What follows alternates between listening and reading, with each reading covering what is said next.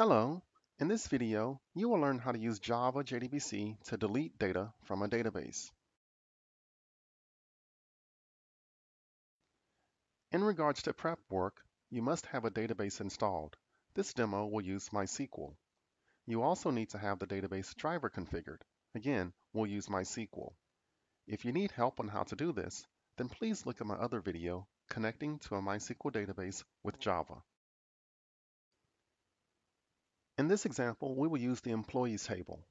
This table has columns for employee ID, last name, first name, and email address. Let's switch over to the MySQL tool so we can review the data. As you can see, we have the employees table in place. Make note of the entry for David Brown. We will delete this employee from the database. Okay, so the SQL command that we'll use to delete an employee is delete from employees where last name equals Brown. Okay, let's move into our development environment and get started.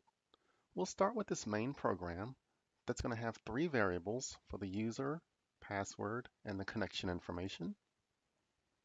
The first thing we'll do is we'll get a connection to the database by saying driver manager.getConnection, passing in the params.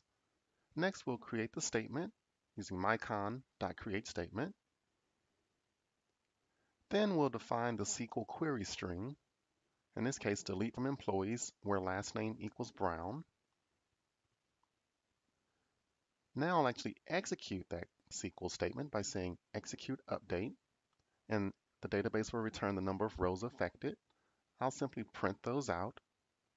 And then finally, I'll just print out delete complete to let me know that I'm done.